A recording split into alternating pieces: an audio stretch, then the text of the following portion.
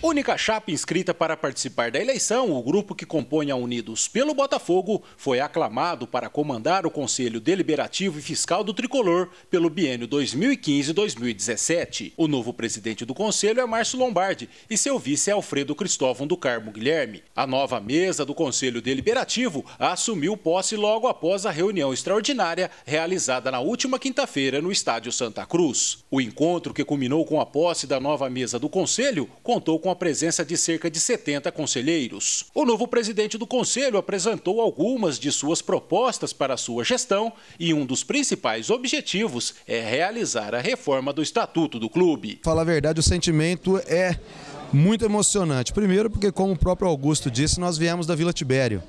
E como ele falou, brincando os pés vermelhos.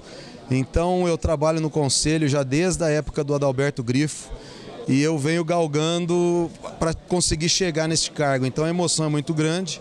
Com certeza vamos procurar fazer um trabalho unidos a mesa toda, eu, Alfredo e os demais componentes da mesa.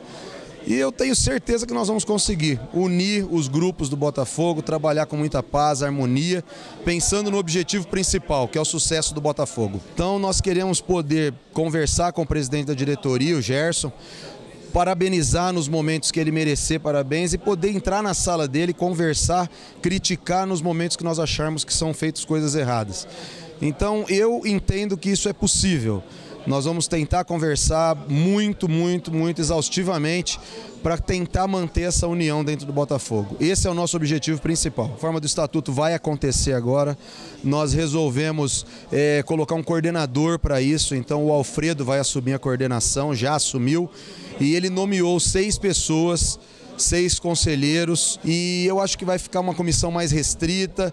Todos os conselheiros vão poder mandar ideias, sugestões, críticas ao estatuto, desde que mandem via e-mail para que eles discutam e depois nós possamos trazer ao plenário. É um assunto, um dos principais que nós temos hoje no Botafogo. É uma dívida alta, a condição que foi imposta pelo banco também é uma condição que tem data limite, como você disse. Nós já estamos marcando uma reunião com o Dimitri, com o Augusto, que estão mais é, por dentro disso, para que o Rogério, o Dr. Mauad, o Gustavo passem isso para nós. E nós vamos trabalhar bastante, bastante, bastante para conseguir resolver esse problema.